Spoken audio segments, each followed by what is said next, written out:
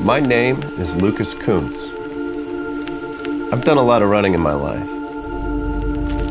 Running to stay healthy, running to fight for my country, running to defend democracy.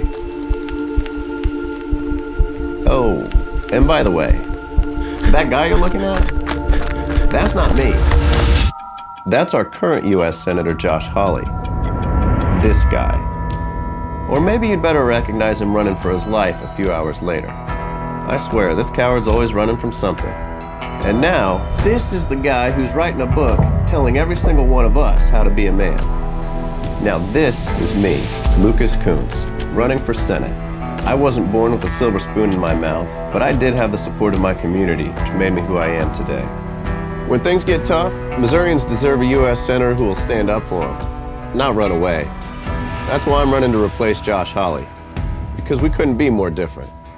When his banker daddy sent Joshua to a fancy prep school miles from his hometown, my family in Jeff City was relying on our neighbors to survive bankruptcy and medical bills.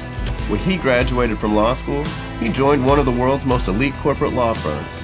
I joined the Marine Corps to pay back the community that took care of me. When he was climbing the ladder to become another corrupt politician, I was serving my country and working to put an end to overseas wars. When giant corporations were stripping Missouri for parts, he attacked workers and shipped our jobs away, while I fought to take power back for American workers and small businesses. And when he voted against relief for vets like me who were exposed to toxic burn pits, I stood up alongside thousands of veterans to hold him accountable.